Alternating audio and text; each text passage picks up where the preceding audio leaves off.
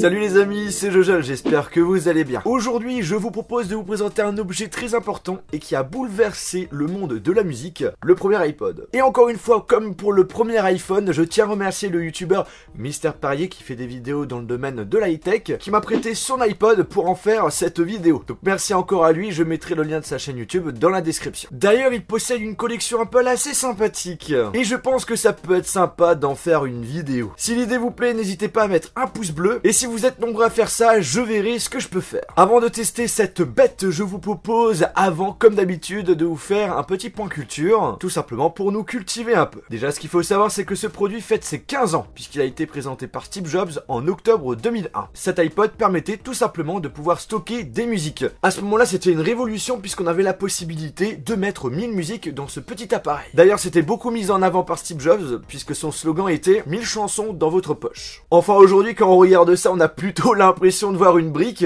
mais à sa sortie, c'était quelque chose de très bien. Le premier iPod possédait un écran monochrome hein, de 2 pouces avec un système rétroéclairage, et d'une définition de 160 par 128 pixels. Il est équipé d'un disque dur de 1,8 pouces qui permettait à la fois de stocker des musiques mais faisait aussi office de disque dur externe puisqu'il était possible de stocker des documents en plus. Sa grande spécificité c'était sa molette de défilement qui permettait de modifier le volume et de naviguer dans les menus. Au niveau de l'autonomie ça tenait environ 10 heures et pour recharger cet appareil ainsi que pour transférer les données ça se faisait avec un câble Firewire qui permettait notamment de faire des transferts très rapides dans le passé puisqu'il était possible de mettre 1000 musiques sur cet appareil en 10 minutes. Au niveau du prix, il coûtait 400 dollars aux États-Unis et 550 euros en France pour la version 5 Go. Quelques mois après sa sortie, la version 10 Go fait son apparition pour 100 dollars de plus. Ce qu'il faut savoir, c'est que cet iPod, lorsqu'on l'avait acheté, marchait uniquement sur les Mac avec iTunes.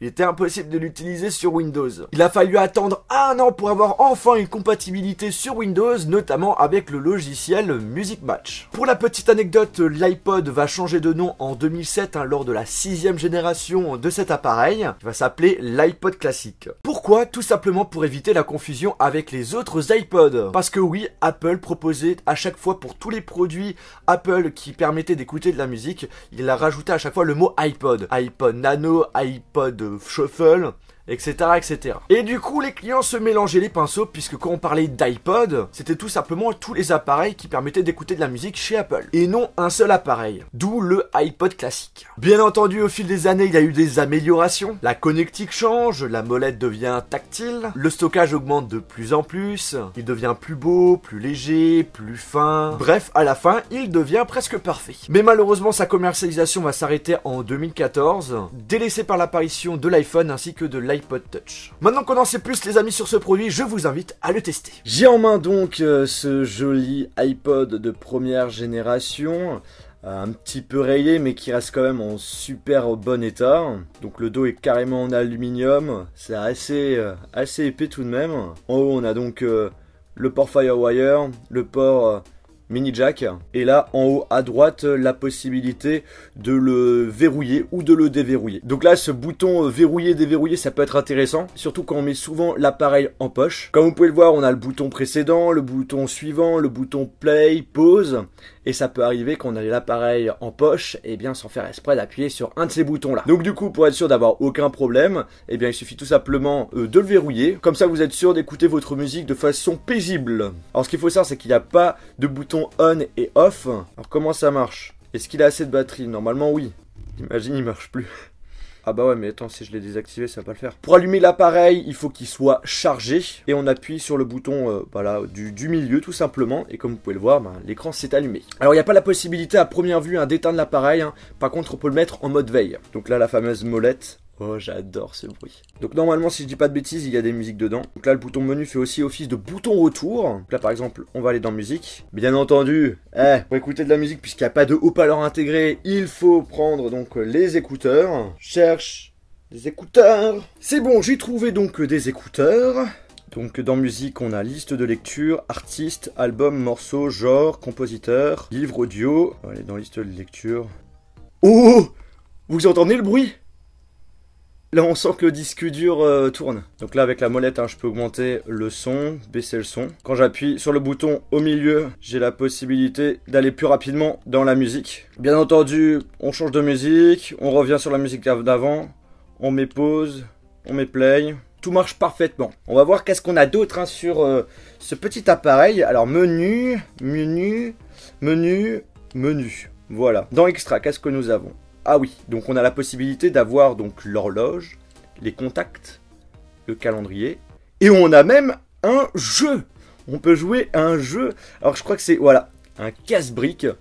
Donc ça c'est ce qui est un petit peu marrant. Et ce que je vous propose, bah, c'est de faire une petite partie. Donc pour bouger la barre d'en bas, il suffit tout simplement de bouger la molette. Et merde, j'ai déjà perdu. Donc voilà, c'est un petit jeu sympa hein, pour passer le temps quand on est en train d'écouter de la musique hein, dans le métro. Allez là, Allez à gauche.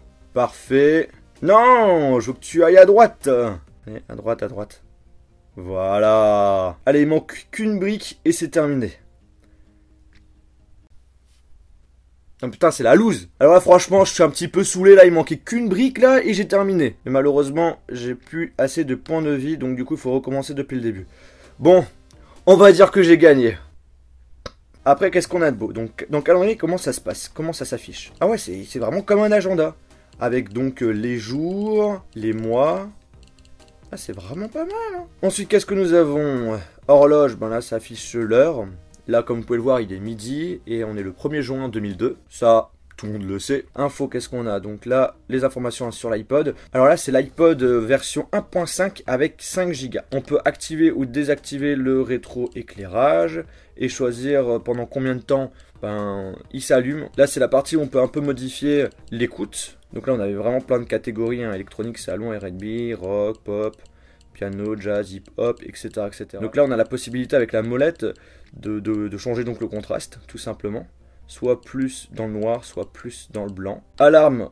Ah, on a la possibilité d'activer une alarme, d'accord. Délai de veille. Ok, donc là, on a la possibilité de choisir soi-même à quel moment euh, l'appareil se met en veille. Cliquetis, ça, ça doit être le petit son qu'on adore. Vous voyez, j'essaye de monter et de descendre. On n'a plus le petit son. Moi, j'adore. Donc, on va le remettre. Ça fait trop bizarre d'entendre le petit disque dur qui tourne comme ça. Ah, il y a un petit bug au niveau de l'écran. Sais pas si vous le voyez, c'est un petit peu devenu un petit peu gris.